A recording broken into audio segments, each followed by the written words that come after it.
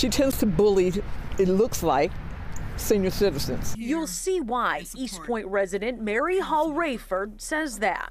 Okay, you know what? I'm gonna stop you right there, or we're gonna we're gonna stop the council meeting. I'm gonna have a point of order, and I'm gonna talk over you. This is gonna be one of those meetings y'all never seen before. Eastpointe Mayor Monique Owens cut her off during public comment with just under three minutes of Mary's allotted time remaining, and it happened to two other people at the same September meeting. The outrageous claims. You're not going to sit here and assault me, lady I never met. You are out of line. You are out of line. Now, do you want to stand there and talk about your cats and your dogs in the community, but you won't talk about me? Mayor Owen, serving the third year of her first term, did not want to hear any residents supporting Councilman Harvey Curley, who Owens alleges assaulted her last summer at a community event.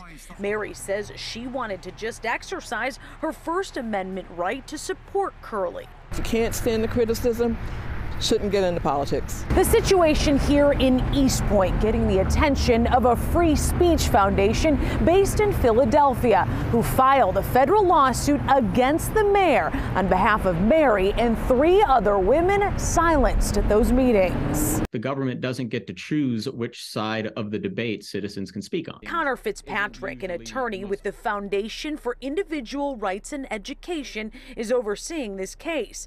He says public officials can, of course, stop disorderly conduct during public comment, like cussing or throwing things.